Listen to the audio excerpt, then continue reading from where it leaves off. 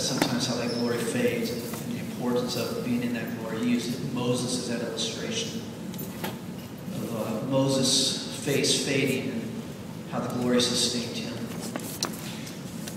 And this week, as, as he was talking about that last week, um, the tent of meeting came to my mind. And this morning I'm going to share with you real quick. I'm going to do a visual.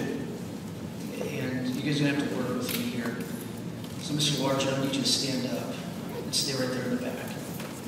Okay, stand right there, stay right there. Okay. Um, Dan, would you stand next to Mr. Large, please? Okay. What I want you guys to do is this. We're going to do a visual here. Uh, open up your Bibles to Exodus chapter 33. And I want to share this visual with you before we get into the main text this morning. Because I want to pick up where Pastor Dan left off. And that was the glory that sustains. And this morning I want to share with you three things that has helped me throughout my years. But I want you to get the visual of this first. And so, let's see, uh, let's see if who has our Bible real quick. Come on up here, Henry. Okay, I want you to uh, read, see, we're starting at verse 11, I think it is. Sorry, verse 7. Verse 7. Okay, why don't you go ahead and pick up and read verse 7. Now Moses used to take a tent and pitch it outside the camp some distance away, calling it the tent of meeting. Anyone inquired, inquiring of the Lord would go to the tent of meeting outside the camp. And whenever Moses went out to the tent, all the people rose and stood at the entrance to their tents, watching Moses until he entered the tent. As Moses went into the tent, the pillar of cloud would come down and stay at the entrance, while the Lord spoke with Moses. Whenever the people saw the pillar of cloud standing at the entrance to the tent, they all stood and worshipped, each at the entrance of his tent. The Lord would speak to Moses face to face, as a man speaks with his friend. Then Moses would return to the camp, but his young aide Joshua, son of Nun, did not leave the tent. Okay, so you got the story? Here's the visual. Let's take a step back. Because this is what happened. You see, back in chapter 32, we see where Israel, you know, Moses goes up to Mount Sinai, comes back, the people had turned their backs on God, they built a calf. They brought sin into the camp. Remember the whole story, you know, that you know, Moses gets really angry. He makes he makes them break down the calf. He puts the calf in so much powder, and then they make some dr- the people drink it. But at that moment, what happens is the tent of meeting, the place where he met with God, was taken outside of the camp. And so we have Moses and we have Joshua. And as they walk towards the camp, as they walk towards the camp, people begin to stand. The people begin to stand. Because all of a sudden they saw the glory of God come to the tent.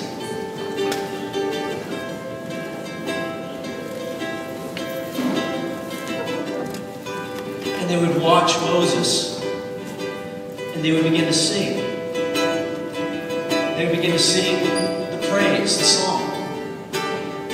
It was a time of worship because they saw the glory of God come down. And as they saw Moses go to the tent, Joshua would stand along the side of it. Moses would go inside the tent. He would close up the door, and God would meet him. And I'm sure that as people saw the glory of God come down to this tent of meeting, imagine what it must have been like. People couldn't help but to sing.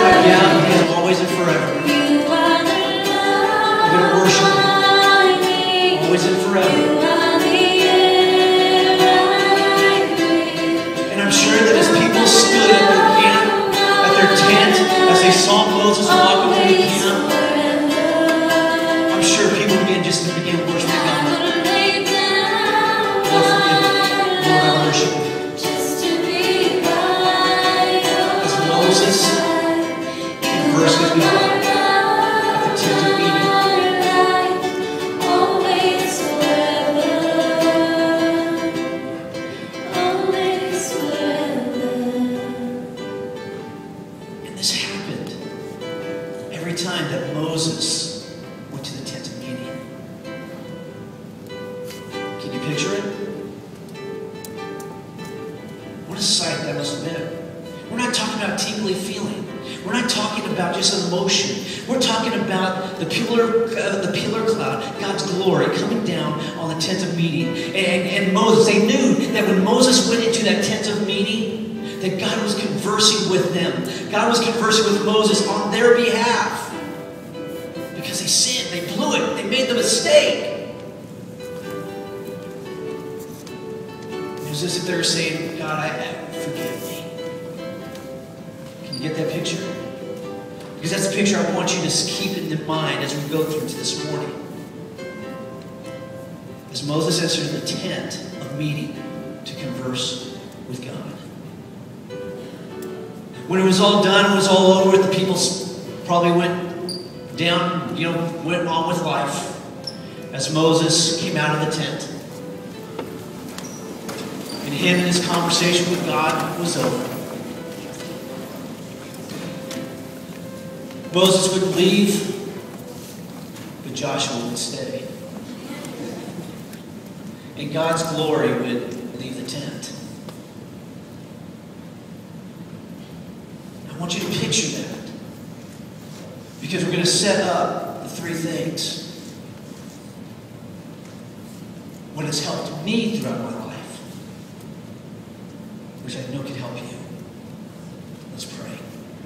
Heavenly Father, I ask, Lord, that you be with us this morning.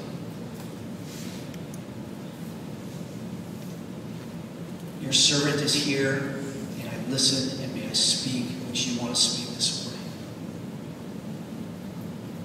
Your servants are here this morning, dear God, so may you open up their hearts and ears for them to hear what you have to say. In your precious name. Amen.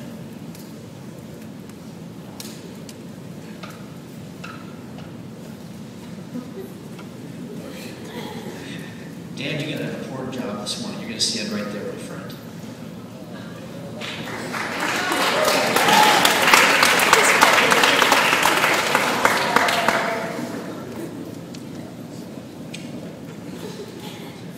For the last 33 years, I'm going to be sharing my heart with you this morning.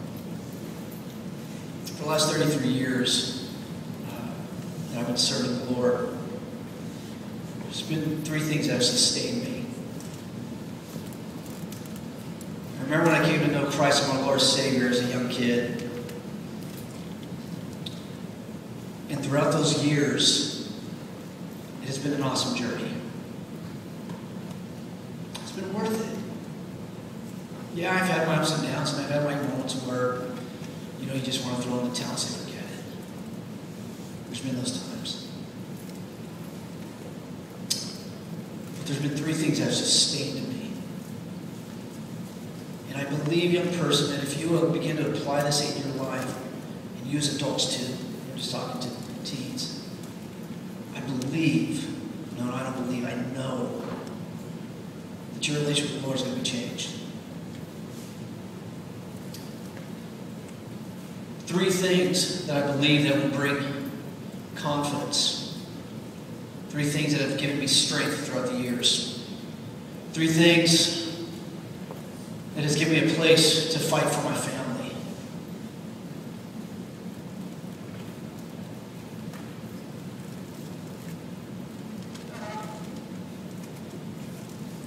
For the future of my daughter. matters.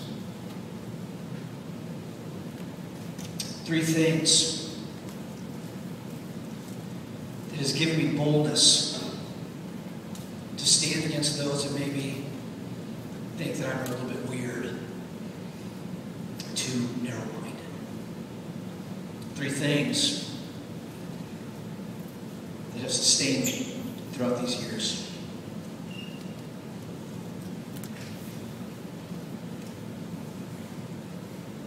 Three things that know that for as adults or as young people when you have a job, you'll see your job more than just a job, you'll see it as your ministry to a marketplace. Three things that will sustain you. Three things that Joshua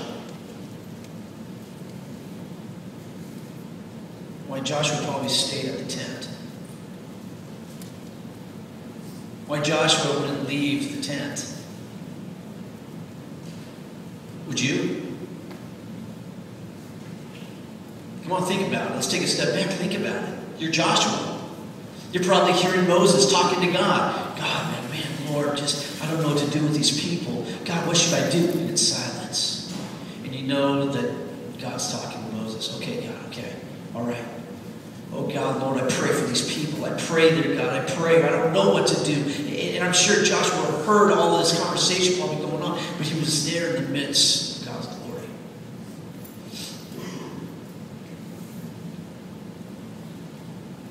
Three things. Let's pick it up on verse 7, chapter 33. It says, Now Moses used to take the outside